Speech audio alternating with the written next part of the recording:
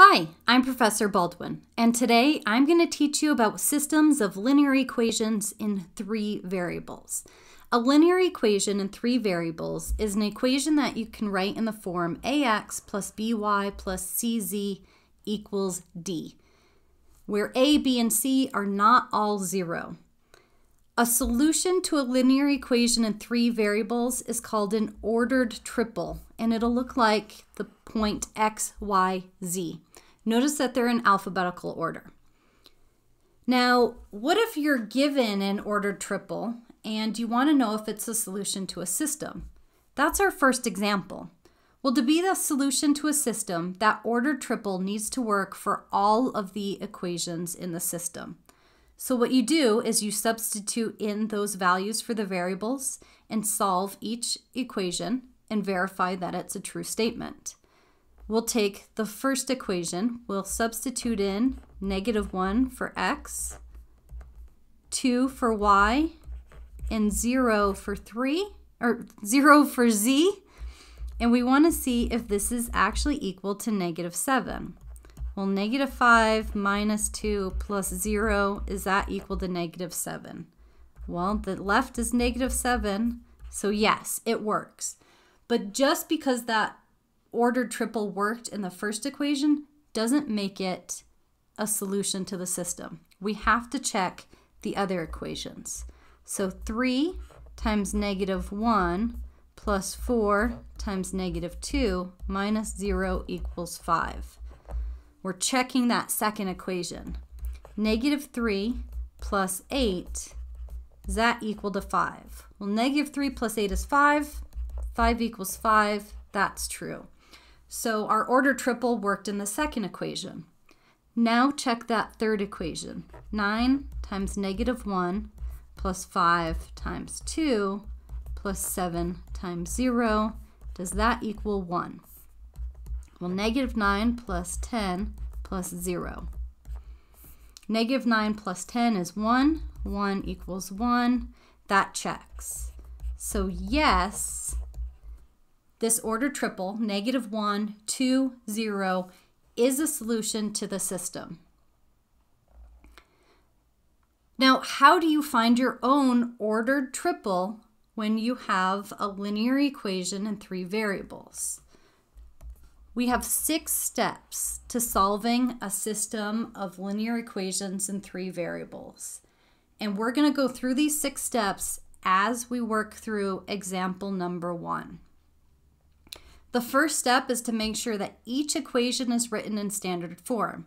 That means all of the variables are on the left-hand side and it's equal to a constant on the right-hand side. All three of our equations in our system are in standard form. Next is to choose a pair of equations and eliminate one of the variables using the addition method.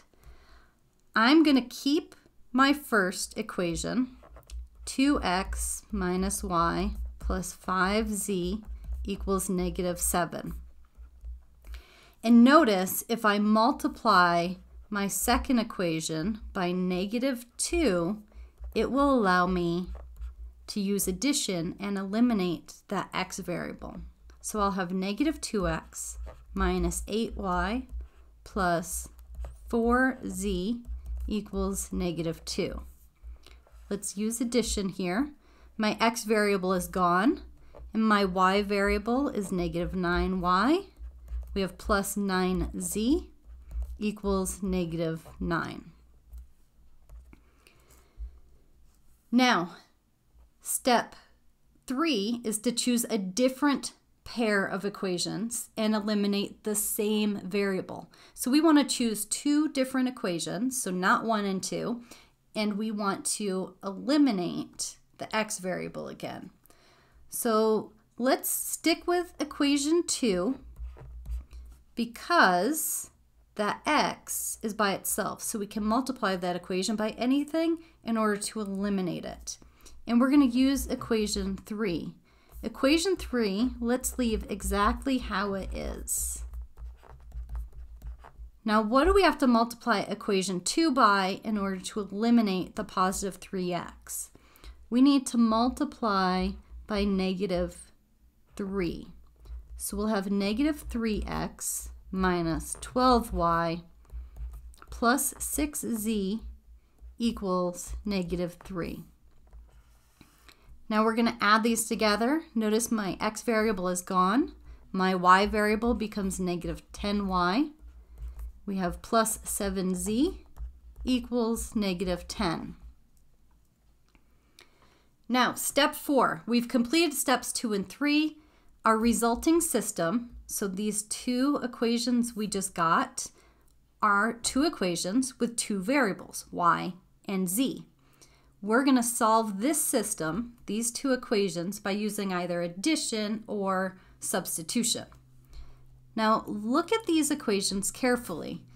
It doesn't look like you can easily add them together. We'd have some very big numbers if we multiplied. And right away, substitution doesn't look possible. But if you look closely at this first equation that we created, if we divide everything by negative 9, right, as long as we do it to every term, it, we don't change the meaning of that equation. This simplifies to y minus z equals 1 or y equals z plus 1. Now we can substitute this in to our second equation for y. So let's do that. We're going to substitute. So we have negative 10 times our new y, which is z plus 1, plus 7z equals negative 10. So we are substituting this into this equation. Distribute on the left-hand side. Now we want to combine our like terms on the left, and we have negative 3z minus 10 equals negative 10. Add 10 to both sides. You get negative 3z equals 0. Well, that tells us z equals 0. I'm going to start my answer up here x, y, z is 0. If z equals 0, then we can substitute it into this equation, y equals z plus 1, to get y. y equals 0 plus 1, so y equals 1. Okay, now we know that y is 1 and z is 0, let's take equation 2 that we started with, x plus 4y minus 2z equals 1, to find our x. x plus 4 times 1 minus 2 times 0 equals 1. So x plus 4 minus 0 so x plus 4 equals 1. Subtract 4 from both sides, and you get x equals negative 3. So our x value is negative 3. And remember, you're putting this in as a solution set because you may have more than one ordered triple that's a solution. Here we just have one.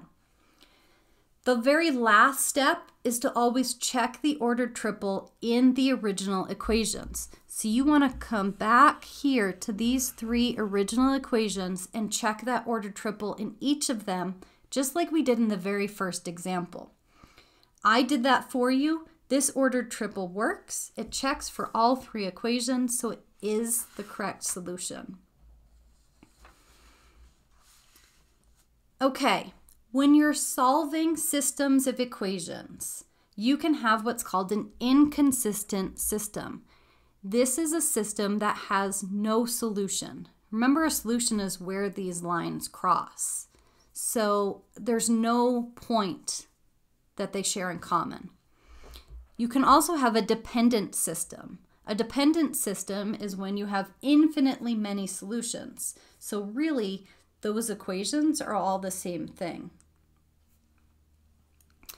In example two, we're going to determine the number of solutions to the system. We're going to state whether the system is inconsistent or the equations are dependent and write the solution set. Look at our very first equation, 5y plus z. We can rewrite this as 5y equals negative z or y equals negative z over 5.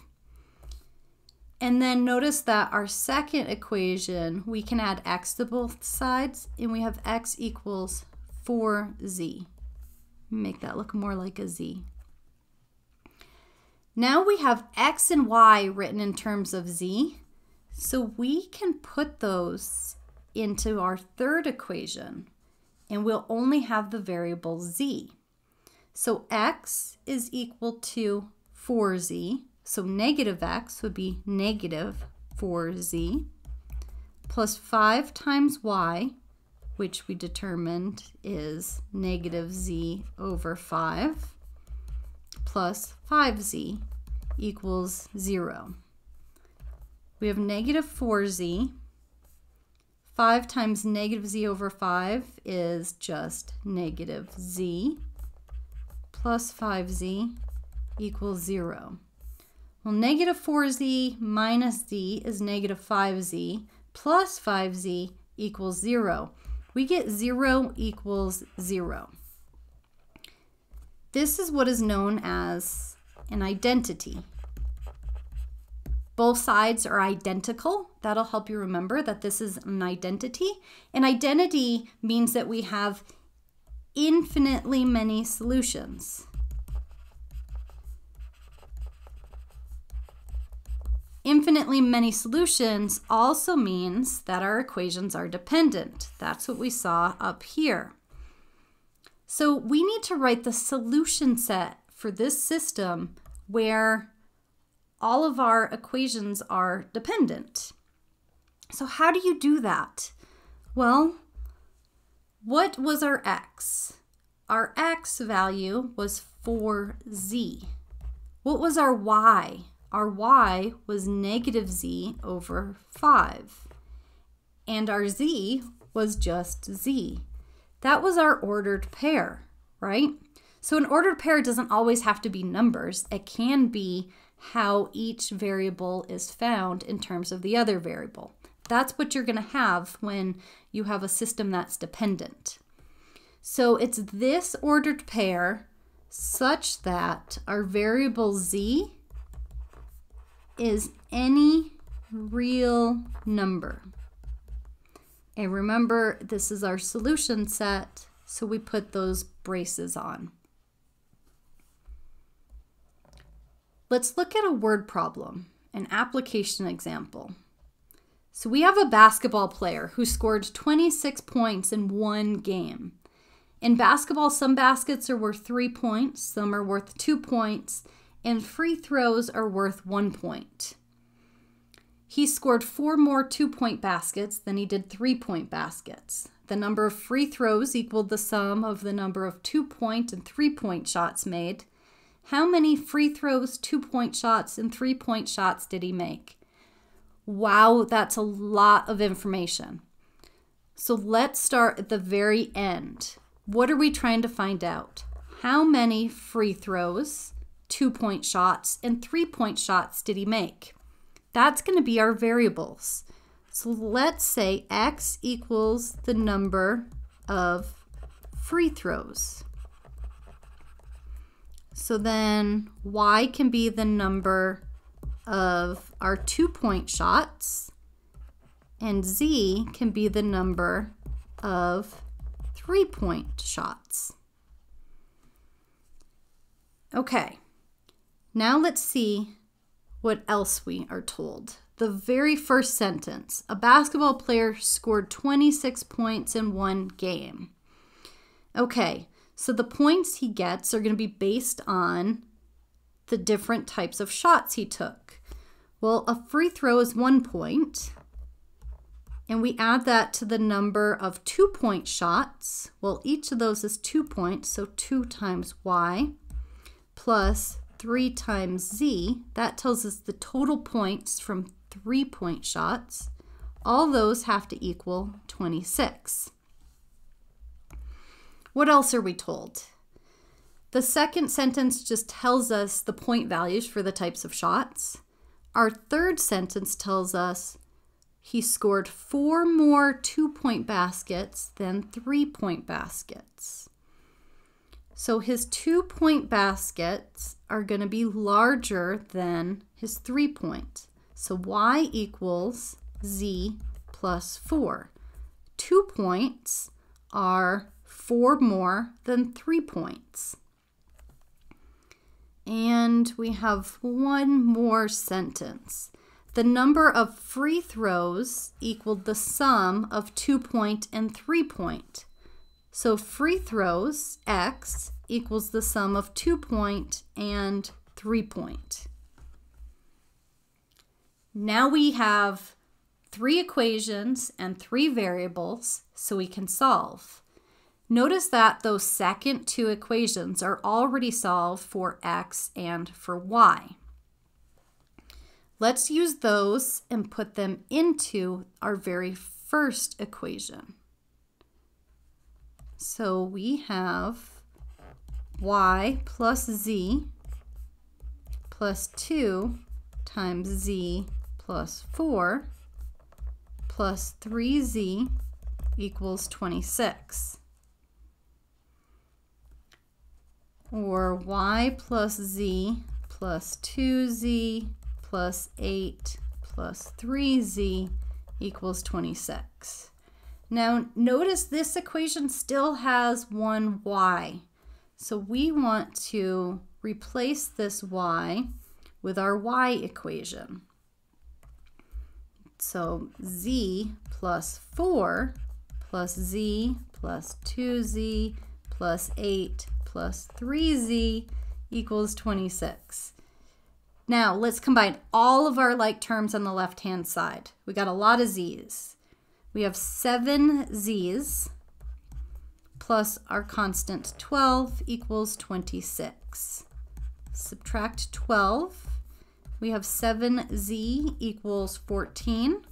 So divide by 7, and we get z equals 2. Okay, z equals 2. We can take this and substitute it in for our y equation. So y equals z plus 4 so y equals 2 plus 4, so y equals 6.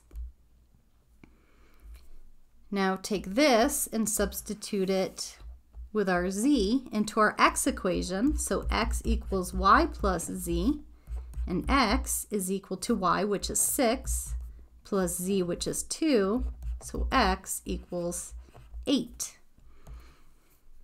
Our ordered triple is going to be 8, 6, 2.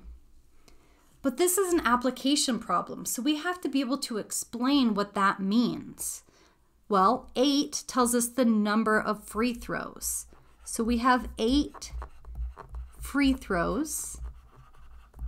6 is our y variable. That's the number of two-point shots. So we have 6 two-point shots. And 2 three-point shots. Thank you so much for watching. I hope you found this video helpful, and I hope you'll check out some of my other math videos.